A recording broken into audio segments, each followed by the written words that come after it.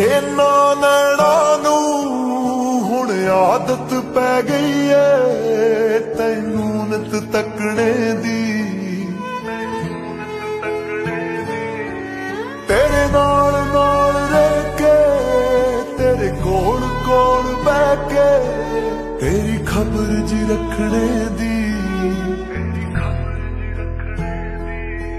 ਕੁਛ ਸਾਲਾਂ ਬਾਅਦ ਯਾਰਾ ਜੇ ਆਵੇ ਯਾਦ ਯਾਰਾ, ਅੱਖਾਂ ਤਾਂ ਭਰ ਲਈਵੇ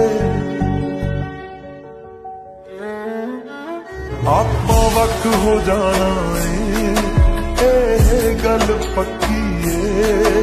ਬਸ ਸਬਰ ਜਾ ਕਰ ਲਈਵੇ ਆਪਾਂ ਵਕ ਹੋ ਜਾਣਾ ਏ, ਇਹ ਗੱਲ ਪੱਕੀ ਏ। ਬਸ ਸਬਰ ਜਾ ਕਰ ਲਈਵੇ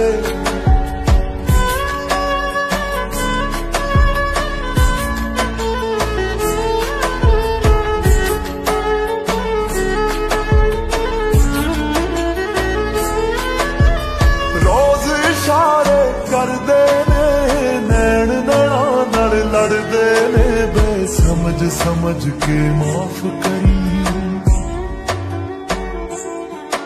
मेरे दिल अंदर इश्क समंदर सीने विच जो मच रही बढ़दी अग्नि माफ़ करी।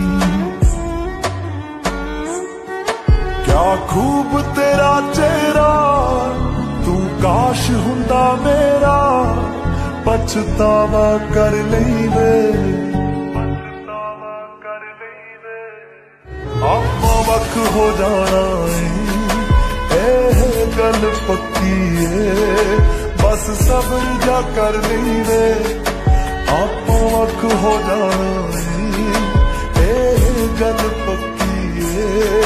ਬਸ ਸਬਰ ਜਾ ਕਰ ਲਈ ਵੇ